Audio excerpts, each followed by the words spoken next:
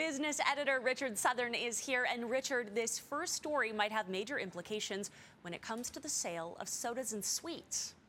Yeah, good to see you, Michelle. This uh, this is big. The World Health Organization is reportedly getting set to label one of the most popular artificial sweeteners a potential cancer risk.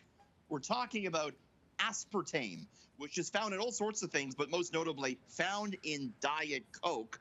But um, I mean, hundreds, if not thousands, of products aspartame is found in. Reuters News reports that next month, the World Health Organization will label the artificial sweetener a potential carcinogen in, in humans. And uh, yeah, that could have wide ranging implications for sure. We actually saw Diet Coke, uh, we saw Coke stock move a bit lower today. Uh, you know, there's a lot of Diet Coke aficionados out there, Michelle. Uh, actor Tom Hanks said his favorite uh, beverages, Diet Coke and champagne. Donald Trump reportedly uh, drinks a lot of them uh, every day. So um, this could have people, uh, famous or not, uh, thinking twice about their favorite beverages going forward. Yeah, I certainly will be. I'm a Diet Coke aficionado myself, Richard. So thank you for the heads up there.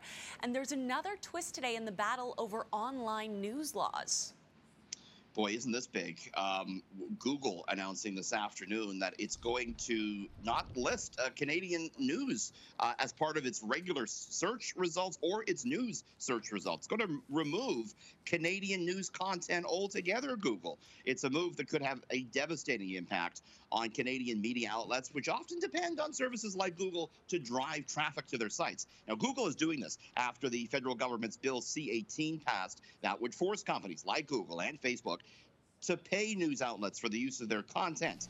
And Meta, the owner of Facebook and Instagram, has already said it will block Canadian news content on its popular platforms. Meta going one further today, announcing it's terminating the contract for a fellowship program to support the hiring of emerging journalists at the Canadian press. So the situation getting even more uh, interesting and troubling, Michelle. Yeah, absolutely, Richard. And listen, you talked last week about the big fine in the bread price fixing scandal, and now we're learning where that money is actually going. I mean, you think it would go to us since we kind of overpaid for bread, right, Michelle? Stand to reason. Absolutely. Makes total logical sense. Well, it's not. It's going all to the federal government. Uh, bread brand Canada Bread admitted last week that it colluded to fix prices and agreed to pay a $50 million fine. All of it going to the federal government, not Canadians. Competi- uh, competition law experts point out, though, that the main purpose of this is to punish the company, not necessarily compensate Canadians. Competition Bureau says Canadians are free to uh, engage in their own litigation to sue the bread companies if they want. Too bad we're not getting any of that coin, Michelle. I guess so.